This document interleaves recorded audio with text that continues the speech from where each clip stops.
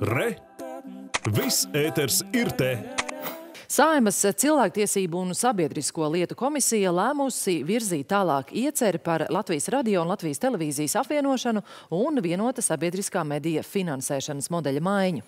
Līdz gada beigām plānots ievēlēt jaunā apvienotā mediju valdi, lai juridiskā abu mediju apvienošanās varētu notikt jau nākamā gada sākumā.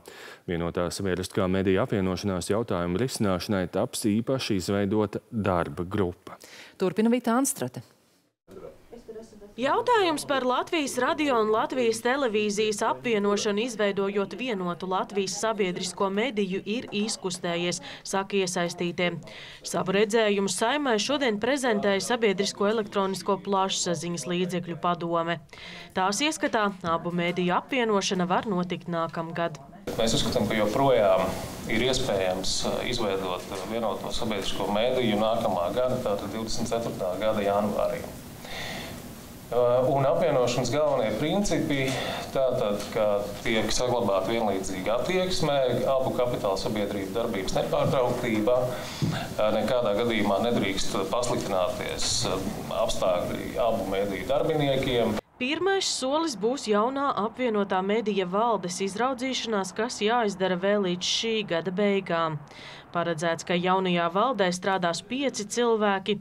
Abiem medijiem būs arī kopīgs galvenais redaktors. Tā tas veicina konkurenci, jo izējot no pretējām, mēs varētu ierosināt vispār apvienot. Kāpēc ir vajadzīgs TV24 vai TV3? Ziņu dienestu apvienošana nav plānota, un, lai gan apvienotajām sabiedriskajām medijām būs viens galvenais redaktors, redakcijas tiks saglabātas arī LTV un Latvijas radio.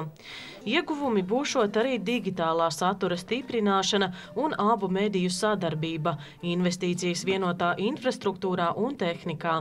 Šī robeža starp, starp televīziju un rādio jau arvien vairāk saplūst, un kādreiz visi labprāt gāja uz interviju rādio, jo tur nebūs jāpucējas. Šobrīd jau vairs ir tomēr, jo ir video, ir radītāji. Tā uzreiz tu esi LSM. Šis eh, jautājums jau ar viņu nodarbojas trešā saima. Tikai būtu pareizi un uh, mūsu goda lieta deputātiem šo jautājumu šajā saimā novest līdz finišā. Līdz šim gan neatbildēts vēl ir jautājums par apvienotā medija atrašanās vietu. To izlems jaunā valde. Padome piedāvā četrus variantus, no kuriem viens paredz būvēt jaunu ēku. Lai gan visas bažas kliedētas pavisam nav, radio saredz vairāk ieguvumu no apvienošanās.